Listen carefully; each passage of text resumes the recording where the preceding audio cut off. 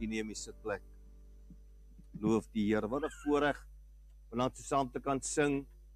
Die Here te loof en te prys. Dit is lekker om weer saam te sing in God se naam te eer.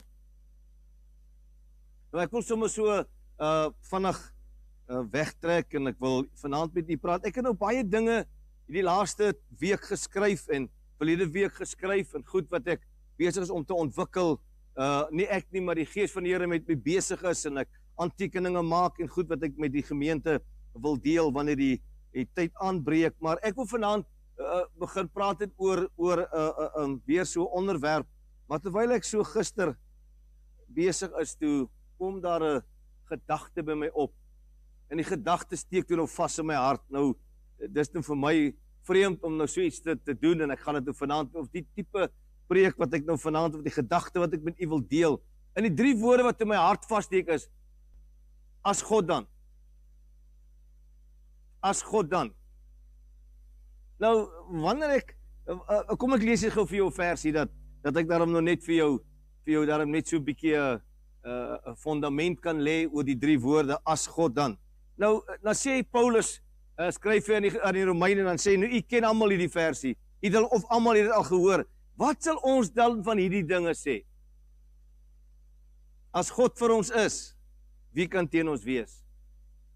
Hy wat self sy seun eie seun nie gespaar het nie, maar hom vir ons almal oorgegee het, nie vir sommige nie, vir ons almal oorgegee het. Hoe sal hy nie saam met hom ons ook kan alles wat alles genadiglik verkoop nie? So ek wil ek wil kom ons kom ons kyk of of die Bybel regtig hy sê ja, wat sal ons van hierdie dinge sê? As God dan As God vir ons is, wie kan teen ons wees? As God vir ons is, wie kan teen ons wees? Hy wat self sy eie seun nie gespaar het nie, hoe sal hy ons hoe uh, maar hom vir ons almal oorgee? Hoe sal hy nie saam met hom ons ook alles genadiglik skenk nie? Dan sê hy in die volgende versie, wie sal beskuldiging inbring teen die teen die, die kinders van die Here? Teen die uitverkorenes van God. God wat dit wat regverdig maak en dan sê hy, wie is dit wat veroordeel? Christus dit wat gesterf het opgewek is en ook uh ons aan aan die regterhand van die troon van God gaan sit dit. Wat 'n voorreg vanaand om sê Here, as God dan vir my is. As God dan vanaand vir jou is. Ek sê as God dan vanaand vir jou is. Nou ek weet in die in die Afrikaanse gebruik van uh, die woordjie as of if dan kom dan mos so so 'n dubbelsinnigheid. Weet jy dis dieselfde met verwagting en afwagting. Afwagting beteken ek sit op die draad en ek klap my en ek kyk wat ek kan toe val die voeltjie. Verwagting is ek weet iets het gebeur en iets gaan gebeur. Amen.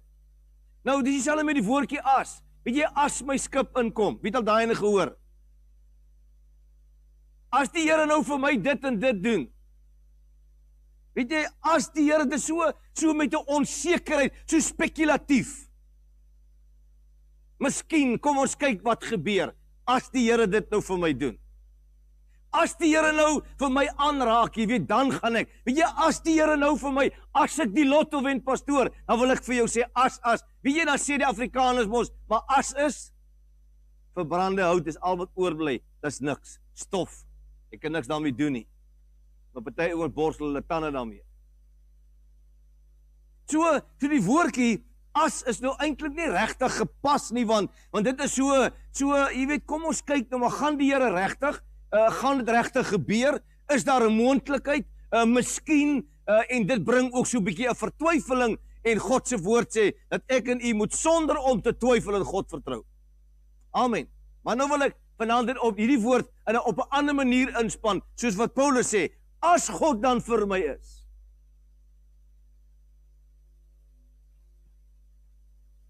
As God dan, nou as God nou nie vir my is nie, het ek moeilikheid. As God nie vir jou is nie, het jy moeilikheid. Want jy kan dit in jou eie krag doen nie. Nou sê hy, hy sê as God dan nou, wat sal ons van die dinge sê? Watter dinge? dat hy jou van voor geken het, verordeneer het, dat hy jou geregverdig het, dat hy jou geheilig het, van al die dinge. Wat sal ons daarvan? Hierdie goed is klaar afgehandel. Jesus het jou geroep, hy het jou geregverdig, hy het jou geheilig, hy het jou by jou naam, hy het jou vooraf alles gesê. Hy sê nou wat sal ons van die dinge sê? As God nou vir my is, wat kan jy doen? So wat eintlik hier sê, weet jy wat, al die dinge wat ek nou vir jou genoem het, is klaar afgehandel. So as God nou vir my is, wat gaan jy doen?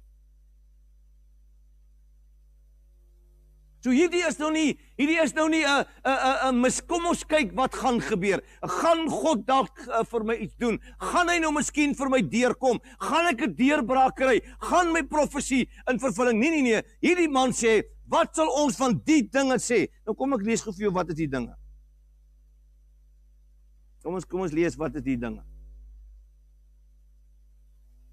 Ons weet dat vir hulle wat God liefhet, alles ten goeie meewerk vir hulle wat na sy voorneme geroep is. Hoor mooi. Want die wat hy van tevore geken het, voor die wêreld ooit begin in die aarde gemaak is, het God jou reeds geken. Nou voor wat hy van tevore geken het, dit het hy van tevore verordeneer. Beteken hy het jou uitgekies en verordeneer vasgemaak. Jy kon nie daarby verbykom nie. Verordeneer om gelykvormig te wees aan die beeld van sy seun. Mense, om te dink God het jou vooraf geken, hy het jou vooraf verordeneer om wat te doen, om gelyk te wees aan die beeld van Jesus Christus. Sodat hy die eersgeborene kan wees onder baie broeders. So jy kan vanmôre sê man, ek is gelyk met my broer. Ek en my broer is op dieselfde vlak. Ek loop nie my broer se skade weer nie en hy loop nie my skade weer nie. Ons loop langs mekaar. Ek is baie bang vir ouens wat sê pastoor ek staan agter jou. 'n Ou agter jou het 'n dolk, pas op. Hy moet langs jou staan. Amen. Pas op vir hy manne wat so agter jou is. En dan uh dan sê hy, hy sê want die wat hy van tevore verordeneer het, het hy van tevore geroep. Christo! Hy het my geroep. Hy het my geregverdig en hy het my verheerlik. Wat sal ons van die dinge sê? As God dan nou vir my is, wie kan teen my wees? Nou nou, nou gaan ek so 'n bietjie vir jou net vanaand so om jou te bemoedig in hierdie COVID stryd hierdie uh so, uh uh uh isolasie, uh social distancing en die goed en is daar. Jy kan as jy dis nie daar nie. Mense, die die die land uh, of hulle nou van my en jou hou of nie, as hulle sê jy moet dit doen, moet jy die land gehoorsaam. Ek weet jy wil dit doen. Ek weet jy's jy's jy's nou al tot hier toe, maar uh um jy moet ek en jy moet maar gehoorsaam wees. Want as ek die wette van die land nie, hoe gaan ek God se wette onderhou? I'm sorry, there's a parallel. Ek hou ek haat hierdie ding. Ek ek ek haat hierdie ding. Ek like hom niks. Hy like my ook nie. Ek belowe jy dis stuk lap soekie vir my nie. Ek soek ook nie vir hom nie. Maar ek moet dit doen.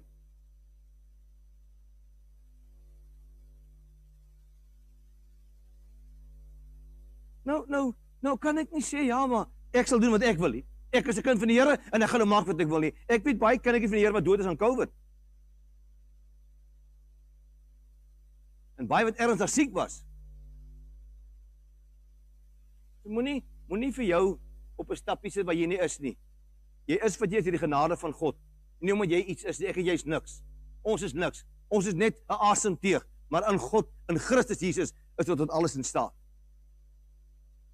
So uh, uh um in die in die in die ver, in die verwysing van as in hierdie konteks is dit 'n verwysing van iets wat afgehandel is iets wat klaar gebeur het. Iets wat ek kan gebruik as 'n as 'n verwysing, as 'n getuienis van iets wat gebeur het sodat ek vir mense kan sê, weet jy, ek wil nou net vir jou sê, um, ek ry nou 'n V12.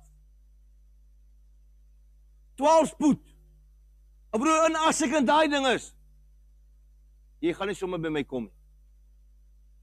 So jy verstaan nou, ek verduidelik vir jou iets wat ek het in besit en wat ek kan kan bestuur en as ek in daai ding is as ek 'n ander ou. As ek daai ou. Nou wil ek vanaand vir jou sê, as jy vanaand net kan besef as jy dan nou in Christus is, dan is jy daai ou. In jou eie krag is jy 'n niks. In jou eie krag probeer jy daai ballon opblaas en oppomp, maar dit is eintlik net 'n klomp wind. Maar as jy in Christus is, dan is jy daai ou dan is jy verheerlik, dan is jy geregverdig, dan is jy verordeneer, dan is jy geroep, dan is jy vanaand daar waar God jou wil hê in hemelse plekke. Weet jy, ek wil vir jou vanaand sê dat dat my God is ongelooflik. Weet nie van joune nie, maar my God en Vader is ongelooflik. Hy's magtig, hy's almagtig, alwetend, alomteenwoordig. Hy weet alles, hy ken alles, hy doen alles en by hom is geen ding onmoontlik nie. So nou nou het het almal al die skrifgie gehoor Efesië 3:20 aan hom wat mag het om te doen ver bo wat ons bid of dink. Hy sê nie hy wat mag het om te doen ver bo wat ons praat en nee, vertel nie wat ons bid of dink. Volgens die krag wat in ons werk. Hierdie krag is die liefde wat in ons is. Want die liefde, die geloof wat hierdie liefde werk het groot krag. As dan die liefde by is, die het geen krag nie. Nou wil ek vanaand jou so 'n paar voorbeelde vat en dan wil ek dit aan my en jou toe trek. As God dan vir Abraham en Isak 'n belofte kan vervul dat hulle 'n geboorte skenk aan 'n seun op die ouderdom van 100 jaar Wat van jou en my? Nee nee, moenie worry nie, ek vra net die Here jou nou op hierdie ouderdom 'n kind gee, jy gaan dit nie maak nie. Nee Johan. Al wat ek net vir jou wil sê is God het 'n belofte gemaak. En as God die belofte gehou het. En Abraham het onmiddellik nie na sy toestand gekyk nie. Na die verstorwe toestand van sy van sy eie liggaam en die verstorwe skoot van Sara het hy onmiddellik nie in homself geglo nie, maar hy het geglo dat hy wat die belofte gemaak het, is magtig om te doen wat hy spreek. En wil ek vanaand vir jou sê, as God dan sy belofte aan Abraham en Isak gehou het, sal God nie ook vanaand sy belofte aan jou en my hou nie? As God dan vanaand sy belofte aan Abraham en Sara vervul het, eh, hoeveel duisende jaar terug, het God intussen verander? Nee, hy het niks verander nie. Hy's gister, vandag en môre bly God dieselfde en die belofte wat hy aan jou gemaak het, die belofte wat hy aan my gemaak het, staan vir ewig vas en wat hy gespreek het, is reeds afgehandel.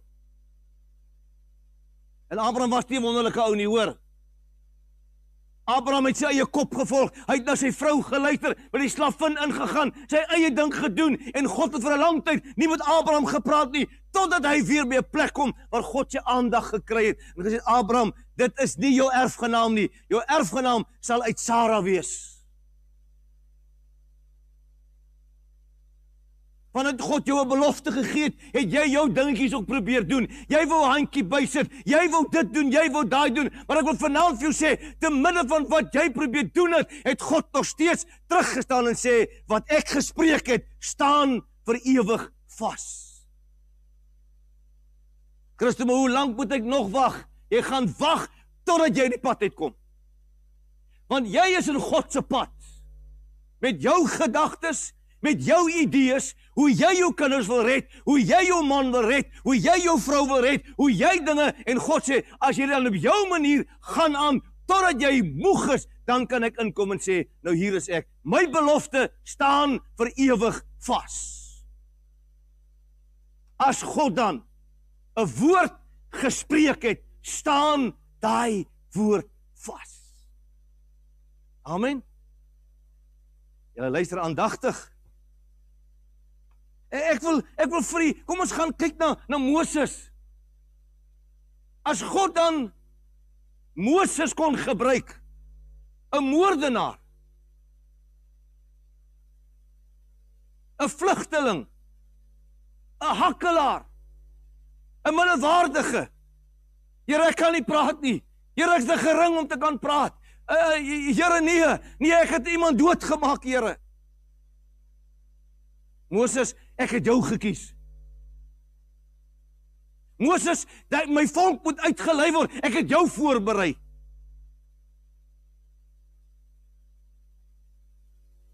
As God sy naam oor jou uitgeroep het, kan jy maar doen wat jy wil. Iewers gaan gaan jy by die brandende bos kom. Maar God vir jou gaan sê, trek die skoene van jou voete af. Trek die skoene van jou voete af. Jy kan vlug, jy kan hardloop, jy kan vlug, jy kan hardloop, jy kan onvervuld bly en vlug en hardloop en aan die hakkel raak. Ek wil jou vanaand sê, God sal jou by 'n plek bring waar hy vir jou sê, ek het jou gesoek, ek het jou nodig, jy's myne en God sal jou iewers sal jou by 'n plek bring waar hy sê, nou gaan jy so en so vir my maak. As God dit dan vir Moses gedoen het en verby sy swakhede gekyk het en verby sy verskonings gekyk het kan jy vanaand jou verskonings in ag neem? Glad nie. Ek sê gaan nie jou verskonings duld nie. Hy gaan voet by stuk hou. Al moet hy iemand aan jou sy sit, hy het vir hy het vir hy het vir Abraham vir Moses gesê maar uh, uh, uh, uh, gaan kry maar daai broerskind van jou. Dan gaan hy saam met jou van Farao toe. Aaron gaan saam met jou. Maar toe gaan gaan sê jy gaan. Amen. Ek kan maar maak asof jy uh, nie lus is vir kerk toe kom nie. God gaan jou iewers in 'n hoek druk. Hoor my vanaand. Hy gaan jou iewers vastrap. En mag begin die krane vir jou toe gaan. En dan roep en spartel jy vra vir my ek weet. Ek wou nooit vir die Here gaan werk nie. Dit was nie eens iewers 'n aansoek en fyn skrif op my op my CV nie. Glad nie. Tot die Here my vasgetrap het. Vanaand is ek bly hy het dit gedoen. So eh, met met Moses. Ja, ja maar ja maar Here, ja maar ja, ja maar Here, ek kan nie. Ja, ja maar Here, ek is maar 'n introvert. God gaan jou koevert oopmaak, moenie worry nie. Ja maar ja maar Here, ek kan nie sing nie. Jy kan goed sing. Jy's net 'n jy's net 'n hoogmoedig en vol nikke. Maar God gaan jou iewers vasdruk. Moenie worry nie. Ek skinder van die Here by jou. Ag van van by die Here, ja, by die Here oor jou.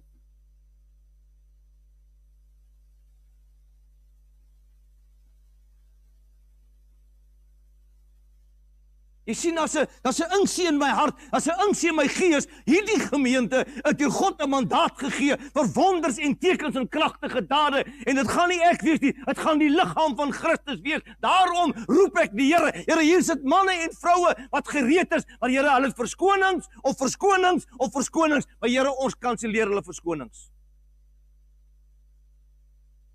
Here, as u die profeet by die by die hare gekruip het om Here, hier's 'n paar greppel in hulle hare. Here laat hulle in die middel van die nag een hierdie nag krampe kry, pyn op hulle maag kry, hou hulle wakker.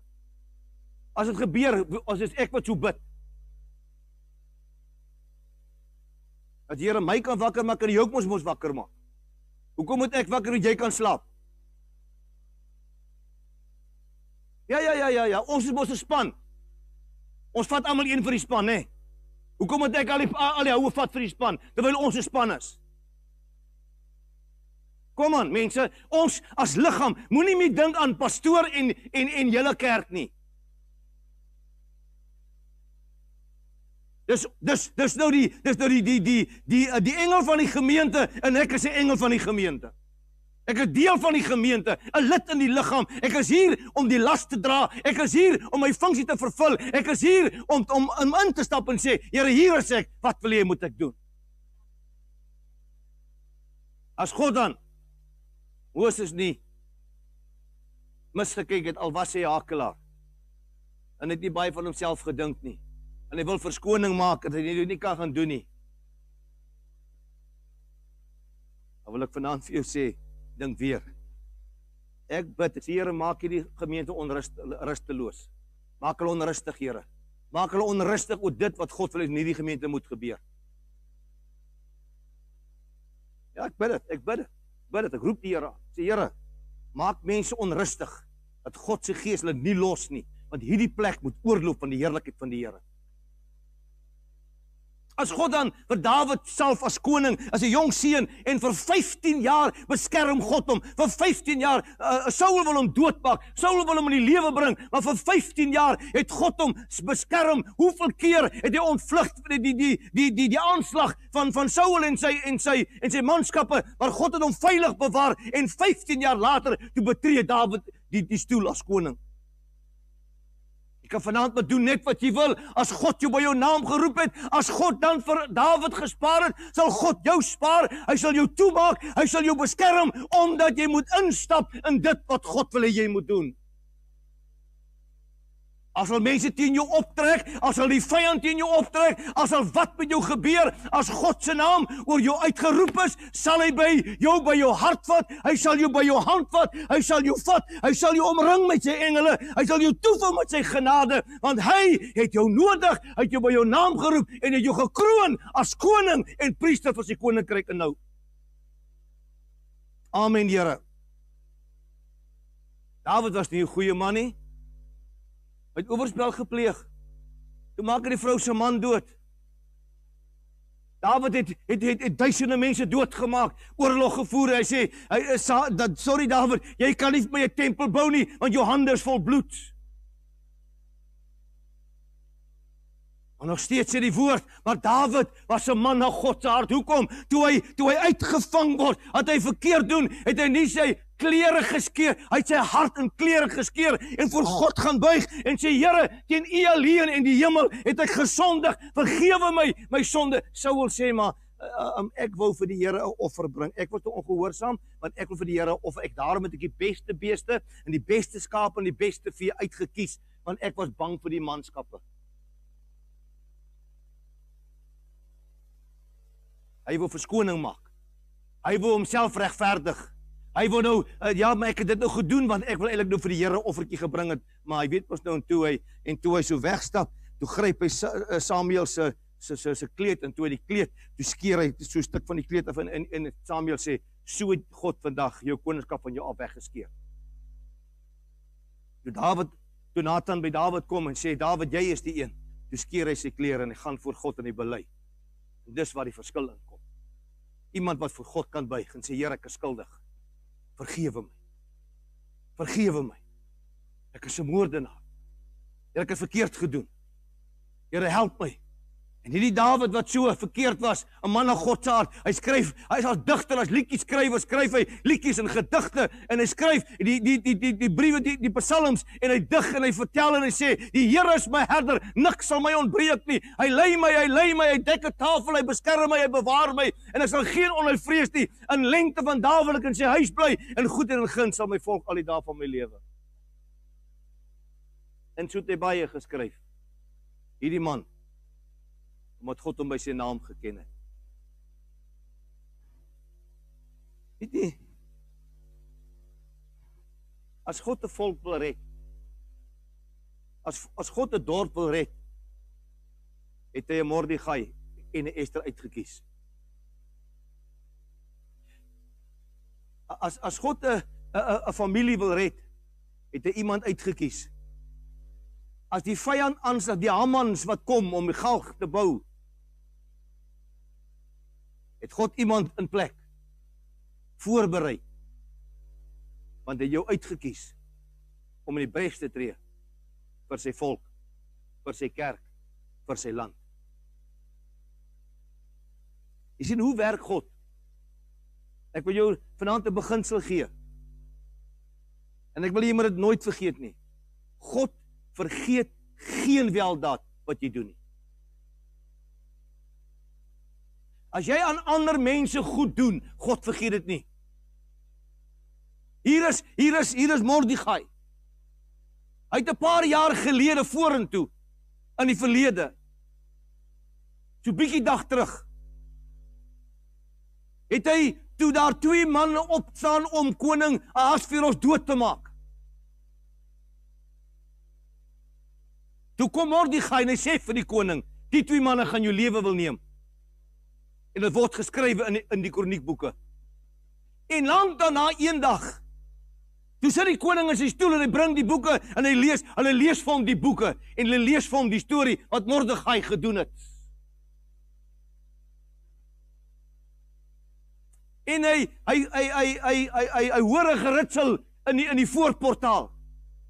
Toe's Haman reeds klaar, hy die galg gebou, die galg is reg. Hy's op pad om te kom sê vir die koning, maar Mordegai wil die wil die Jode red en en die oomblik toe hulle toe hy vra, "Wie kom hy in?" toe sê hulle, "Hier kom Haman in."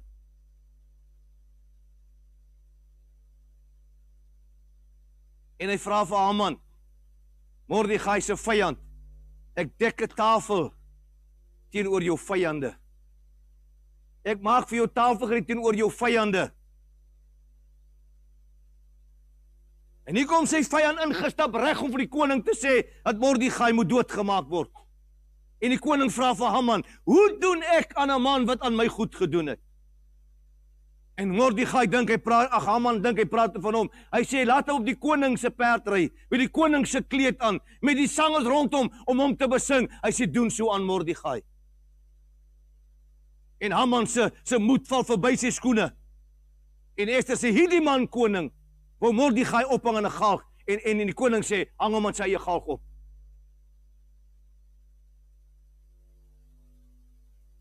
Dan sê die woord van die Here, hoor mooi. Hoor my wat sê hy.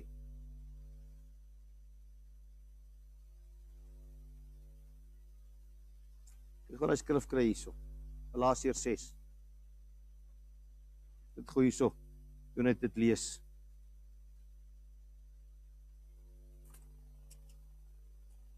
Loof die Here. God is goed. Hy sê laat ons Galasiërs 6 vers 9 laat ons nie moeg word om goed te doen nie. Want op die regte tyd sal ons maai as ons nie slap lê nie. Christus, ek het al so baie goed vir mense gedoen en ek en ek is al moeg al. Hy sê hou aan om om moenie moenie verslap nie. Hoor mooi. Hy sê uh, uh uh en laat ons nie moeg word om goed te doen nie. Laat ons nie moeg word nie. Hierdie vyand vertel jy want jy het al so baie goed aan mense gedoen en mense groet jou nie eers nie. Hulle kom nie eers by jou nie. Hulle sien jou nie raak nie. Hy sê laat ons nie moeg word om goed te doen nie, want op die regte tyd sal ons maai as ons nie verslap nie. Laat ons dan terwyl ons die geleentheid het aan almal goed doen. Nie aan sommige mense nie, aan almal goed doen, maar die meeste aan die huisgenote van die geloof. Weet jy, ek het mos 'n probleem met mense. Hulle wil gaan saai in in in China, in Rooi Rusland agter uit rond maar hulle eie gemeente doen hulle niks. Hulle gee nie eens offer aan hulle eie gemeente nie, maar hulle wil gaan saai in in, in ander plekke. Jy begin eers by die huis waar God jou geplant het. So jy begin eers by die huis waar God jou geplant het en dan gaan jy weier. Daar waar die klip in die water val, dis waar jy tiende betaal. Dis waar jy offer, dis waar jy gee. Ek gaan nie uh, uh, ek onthou jare gelede toe ek jong 'n uh, uh, jong jeugleer was in Parow, toe word my pa pastoor in 'n ander dorp en maar swaar gekry. Toe betaal ek my tiende by by hom en, en toe sê die Here vir my, jy doen dit nie. Jy's in Parow geplant, nie in Mamasbury nie. Ek sal vir hom sorg. Here kry die boodskap. Ek is jammer, ek sal regmaak. Doen mag ek reg. Jy gaan eet nie by die spore betaal jy vir saddles nie. Hallo? Hallo? Dis 'n dit is 'n beginsel. Ja, saddles bestaan nie meer nie. So vat maar die hoompie. So, ek wil jou net vanaand sê mense, dis 'n beginsel. En dan sê jy, jy moenie moeg word om dit te doen nie. Want as jy aanhou om dit te doen op die regte tyd, sal God jou hy, hy onthou, hy hou onthou al die goeie dinge wat jy gedoen het. Elke weldaad wat jy vir hom gegee het, dit gaan nie by sy oog onverskoons verby nie.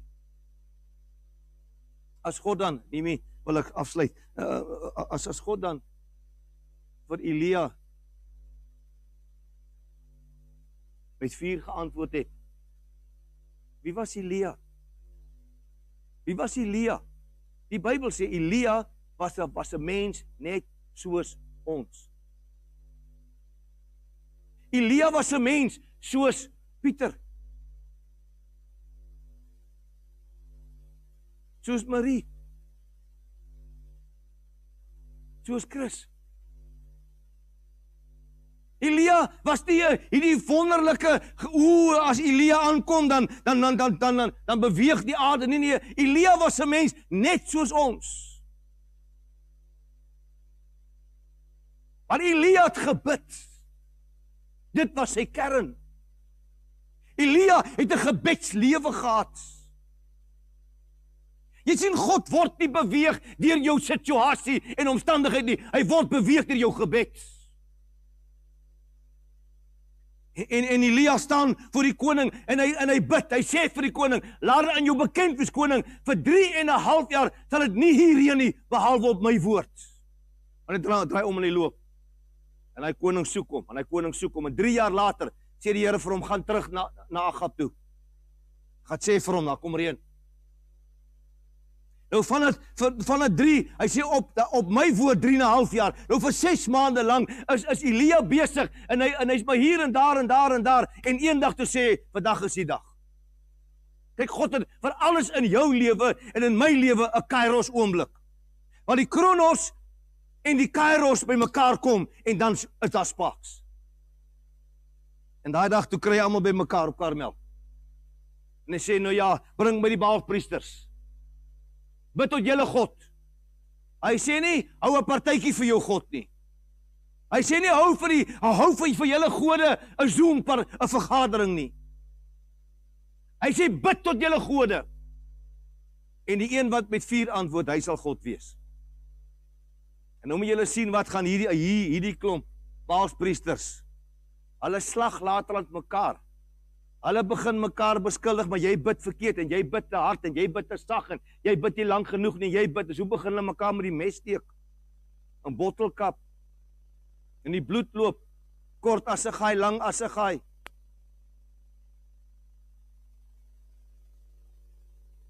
En en en en en en 'n pastoor Elia Hy geniet elke oomblik. Hy sê bid bietjie harder, miskien slaap hy. Miskien slaap jou God. Hy dalk 'n middagslaapie gaan vat. Hy het 'n bietjie te veel pap geëet. Jy moet net so bietjie harder bid. Ruk hom bietjie, klap hom bietjie, miskien word hy wakker. Want jy sien Elia ken 'n God wat gebed antwoord. Dit is dieselfde man wat by 'n by 'n spruit sit en God voorsien vir hom die kraai vleis en hy gee vir hom water om te drink. En die Here sê vir hom die watertjies is nou op en die en die en die, en die vleis het opgeraak gaan af na Sarfat. Daar het ek 'n vrou opdrag gegee om na jou te kyk. Hy kom by die vrou aan. Hy sê vrou maak eers vir my 'n koekie dat ek eers eet want die olie in die kruik sal nie opraak nie en die meel in die pot sal nie opraak nie. Hierdie selfde God as God dit dan gedoen het kan God dit nie vanaand nog doen nie Waarom sal ek twyfel as God eenmaal die olie vermeerder het en die meel nie ophou nie, kan God dit vanaand weer doen, want God is by magte om te doen wat hy wil en doen wat hy kan en by my God is geen ding onmoontlik nie. Elia Elia sê wel julle het julle beerd gehad, dan die pad, die pad. Hy sê vir die manne bring die water pak pak die plak die die die die, die bulle op die op die op die altaar. Gooi die gooi die offer nat, gooi die altaar nat, maak 'n sloot rondom, maar laat die water die sloot vol maak. En toe hy toe hy klaar is, toe toe kniel hy en hy bid tot God. Jy kan gelees 1 Konings 18. Toe bid hy tot die Here en hy roep na God. Hy sê Here, antwoord vandag my, antwoord my, antwoord my Here dat hierdie volk sal weet dat U waaragtig God is. En die volgende oomblik, toe kom die vuur in die hemel, dit verteer die altaar, die offer en die water. As God dit dan kon doen, as God dan vir my is, As God dan kan antwoord met vuur in die Ou Testament, kan God dan nie vanaand nog antwoord met vuur in jou testament nie?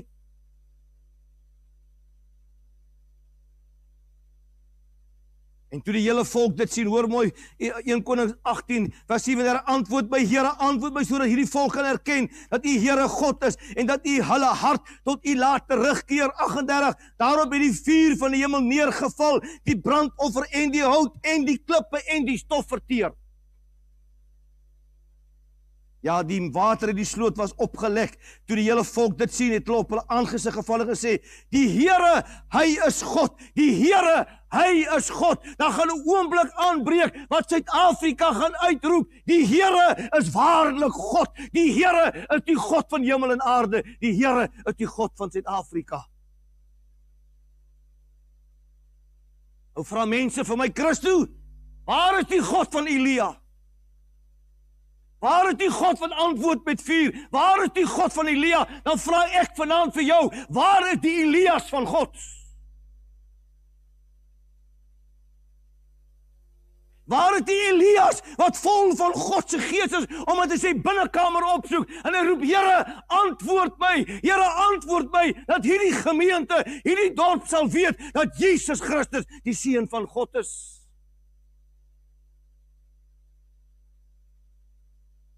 As God dan vir Johannes uit 'n uit 'n oliebad uitruk en gaan beskerm op die eiland van Patmos wat die grootste brief ooit geskryf is. Die brief Openbaring, die Openbaring van Jesus Christus, sy kruisiging, sy kerk en sy bruid op aarde in verheerliking. Dan vra ek vanaand vir jou die volgende. Het God verander? Kan hy verander? Dan dan wil ek jou konfronteer en ek konfronteer myself. Ek kyk gisterand op die nuus. Vier van ons damme 115% vol. 108% vol. 105% vol. 80% van ons van ons land se damme is almal vol. 28% van hulle is tussen 75 en 80% vol en net twee damme, net 2% is nog onder 70% en as 'n klein deel wat nog reën. Ek wil vanaand vir jou sê, die reën van God het geval nie omdat ons iets goed gedoen het nie, maar omdat die kerk begin bid het en toe ons bid, toe antwoord God. As God dan kon antwoord om reën te gee, kan God dan nie vanaand COVID stop nie? Kan God dan nie vanaand ook die korrupsie in die land stop nie? Kan God nie jou situasie wat donkerder en donkerder word ook omdraai en lig nie? Ja, hy kan. Wat moet ek doen? Mekaar se hande vat, begin bid teen korrupsie, begin bid vanaand teen COVID. Daar kom 'n derde vol. Ek wil vanaand sê kerk van Jesus, ons moet daai golf stop in die naam van die Here. Hulle verklaar nou al maartman, ek sê nee, die kerk moet op. Hulle sê Here, ons weier nog 'n golf in Suid-Afrika. Almal maak hulle gereed vir die volgende golf. Ek wil jou vanaand sê hierdie land kan nie nog 'n golf vat nie dan is ons bankrot en uitverkoop. Die regering, hulle steel ons kaal en hulle en hulle voel nie sleg daaroor nie. Hulle kom niks oor nie en ek en jy gaan moan en moan en niks gaan gebeur nie. Maar wanneer ons ons knieë buig voor die lewende God en ons sê Here, openbaar die dinge en ons stop dit in die naam van Jesus, sal daar 'n stop kom omdat ons gebid het.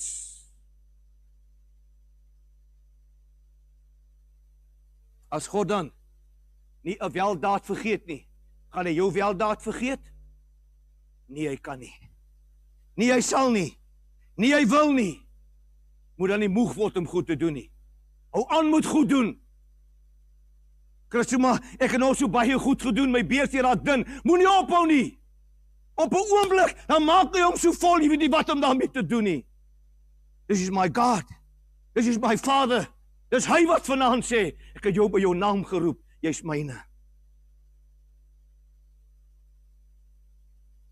Hierdie man is 'n mens net soos Elia. Maar ek het begeerte dat God se vuur weer sal brand soos nog nooit vantevore nie. Waar ons elke demoon en aanslag van die vyand en Baals priester op sy plek sal sit en sal staan vir die waarheid van God en waar die Heilige Gees vuur weer neerdal en tonge van vuur en mense gevul word en wonders en tekens en kragtige dade en die blinde sien en die dowes hoor en die krepeles loop en die dooies word opgewek omdat die Gees van God welkom is omdat ons hom erken vanaand en die vuur van sy heerlikheid as God dan vir my is wie en wat kan teen my wees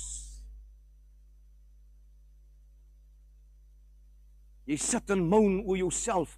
Dit en moan oor jou. Ek sê hou op met moan en shut up 'n slag en sê Here, ek wil my knieë voor God buig en ek wil roep na die hemel. Here, U is my antwoord. Here, U kan ingryp op 'n kosbare manier en alles omdraai, Here, want wat U gespreek het, staan vir ewig vas.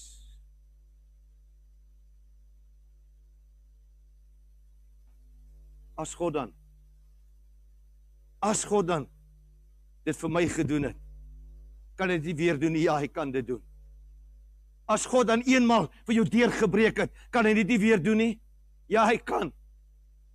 As God dan eenmaal vir jou ding in plek geskuif het, kan dit nie weer doen nie. Is God dan nie vanaand groter as kanker nie? Is hy nie vanaand groter as krankheid nie, as siekte, as ellende, diabetes en al die goed nie? Nee, my God is magtig. Hy kan alles doen. As God dan, dan kan hy weer. As hy gesê het, Lazarus, kom uit, dan kan hy vanaand weer sê, Lazarus, kom uit. As God dan vir jou is, vir jou saak is, wie kan teen jou wees? Ek kan hulle vir jou so sleg sê in Haman kan sê vir jou gal gek. Dan sê jy Here, U weet. U weet Here. Ek is 'n uitverkorene van God. Ek het nie hier jy nie. Ek is 'n uitverkorene, 'n gunsgenoot van die Almagtige. Amen. Kom ek wil jou vanaand bemoedig. Hou op om te praat oor COVID. COVID hoor jou nie meer nie. Op om te praat van hoe dit met die besigheid gaan begin lewe spreek. Begin lewe profeteer. Vat jou beursie, praat met hom. Ek sê vat jou beursie en praat met hom. Vat jou besigheid se se se registrasie en praat met hom. You will decide a thing. You will decree it and it will be established for you and the light of my favor will shine upon your ways. Lord, I decree and declare tonight this is the house of the Lord. And the power of God will be experienced in this place. There will be things happening in this place. Lord, exploits like never before. Ek roep dit vanaand, ek roep dit, ek bid dit, ek vra dit. Here, ek gaan nie los nie, ek gaan nie ophou nie, Here. U het gespreek. Ek onthou die dag wat die Here sê Christo en Alida, julle gaan hierdie gemeente volmaak en volmaak en volmaak en ek gaan julle hoor en hoor vat. Ek sê Here, daai woord staan vir ewig vas en die vyand probeer om 'n galg te maak om my op te hang. Maar dank God, hy het engele gestuur om my te beskerm en op die regte plek. Toe maak God my los en hy sê ek het jou gekies. Ek het jou aangestel om dit te doen en geen pes en geen plaag sal naby jou tent kom nie.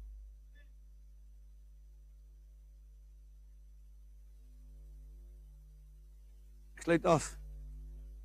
Gistermôre sit en bid ek in hierdie plek. En ek skryf neer.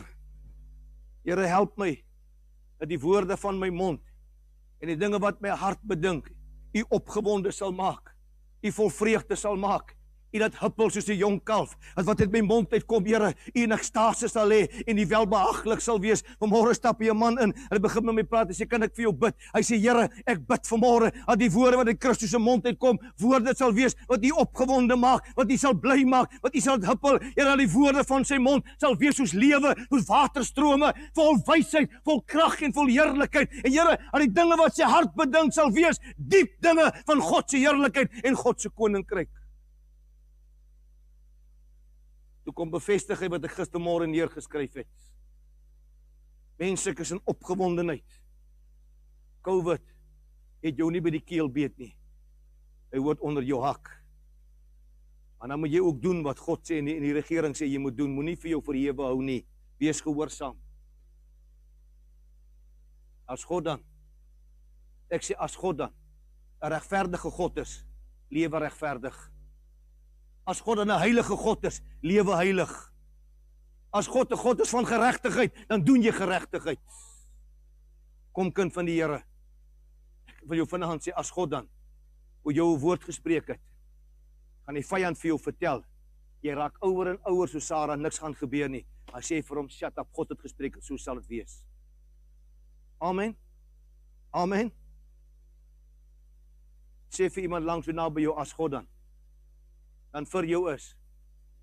Wie kan teen jou wees? Ek sê as God dan vir jou is, wie kan teen jou wees? Ek sê as God dan vir jou die prys betaal het, wie kan jou verkoop? Niemand. Amen. Amen. Loof die Here. Loof die Here. Ek hoop die woord het vir jou iets beteken. Maar ek wil vanaand vir jou sê as God dan jou by jou naam geroep het, gaan hy jou nie los nie. Ek sê hy gaan jou nie los nie.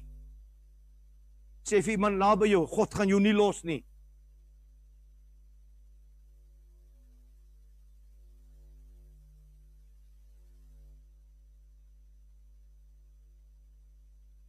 Kiamo sekere benturubushe. sit vanaand hier, jy sit vanaand voor my 'n klomp, klomp geroepenis van die Here. Akkelaars. Mense wat nie baie van hulle self dink nie. Mense wat voel is verby. Nee, as God dan. Ek sê as God dan. Dan wil ek jou vanaand sê, wanneer jy nou gaan opstaan, dan gaan jy opstaan soos 'n koning. En jy sê dankie Here. As U dan vir my is, wie kan teen my wees? Ek wil jy moet nou hoor wat ek vir jou sê. Ek gaan tot 3 tel. En dan staan jy op soos 'n koning. En 'n koning sukkel nie op. Ag nee, nee nee. Jy staan op. En jy sê Here, ek verklaar vanaand as God dan vir my is, wie kan teen my wees? 1 2 3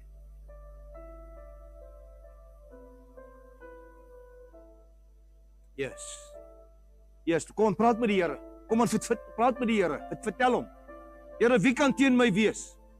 Here, elke wapen wat teen my gesmee is, sal niks uitrig nie. Here, dit wat die vyand van my gesteel het, sal hy sewevoudig teruggee, Here. Ek verklaar vanaand oorwinning oor my huis, Here. Oor myself, oor my denke, oor wat ek praat, Here. Dat my hart vanaand my God uitverkoop is vir die koninkryk, Here. Ek verklaar dit vanaand koning Jesus. Dankie Jesus. Dankie Jesus. Sê vir jou wat vanaand na my kyk en na my luister. God het sy naam oor jou uitgeroep. Jy sit daar in jou huis vanaand met pyn in jou liggaam. Jy voel, jy voel jy's mislik, jy weet nie meer watter kant toe nie. Ek wil vanaand vir jou sê dat dit een kant toe, dis afgrond toe. Die vinnigste manier op, die vinnigste manier af. Buig jou knieë voor die Here en praat met hom en sê Here, antwoord my antwoord my Here en die God van lewe sal jou antwoord in die oomblik van jou nood. Hoor vanaand die woord van die Here. As God dan vir jou is, wie en wat kan teen jou wees? Ek seën julle in die naam van Jesus. Amen. Gemeente, kom ons